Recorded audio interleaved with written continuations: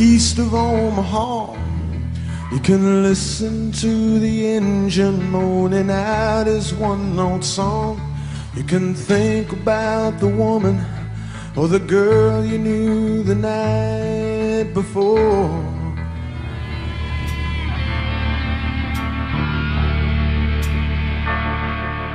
But your thoughts will soon be wandering the way they always do.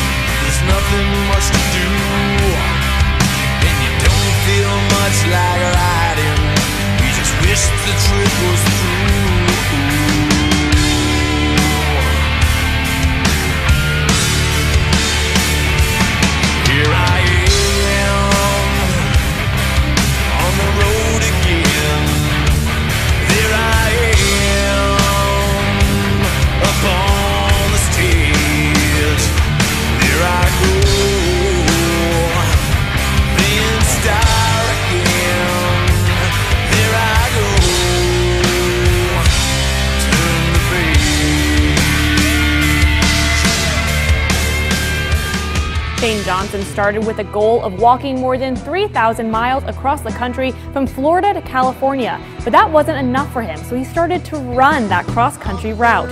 And then he started adding marathons on top of that, all to show people life is better when you embrace the challenges. I had a choice in my mind to say, you can give up, which will be easy, or you can fight, which is going to be hard.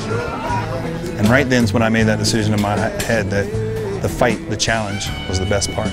One step at a time. I said, I want to go across the country. I want to go across the country and I want to impact and inspire people. I want to change their lives.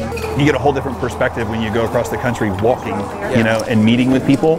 Lubbock is Shane Johnson's halfway point on his cross country journey to share his story. Um, I was a Marine Corps veteran, got out of the Marine Corps, um, got into the banking industry, and then in 2008, Great Recession happened, and I ended up homeless. He's traveling more than 3,000 miles on foot to challenge homeless military veterans and others to be the best version of themselves. My approach is not the victim approach. Mine's the victor approach. You can choose which one you want to be. Every single day there's a challenge, is there not? Okay, probably been that way most of your lives. Would you agree? Okay. So what if I told you that maybe that was the pleasure? Johnson has a tough approach to helping others. I wake up at 3, I run 22 miles, I still give back, I still FaceTime with my daughter, and I still run three businesses and a nonprofit. All in the same day that you have. So if I can do all of that, you can get up and get to the gym. You can get up and be exceptional at your job. You're just choosing not to. And every step Johnson takes in his journey helps inspire others to begin theirs. We dictate our success in our levels. But sometimes, like in the military, we need that boot in the back. And I'm hoping that's what, what I'm doing. On his trip, he's also passing out hygiene kits that are focused on helping homeless veterans. He arrived in Lubbock this morning and is somewhere near Amarillo already tonight.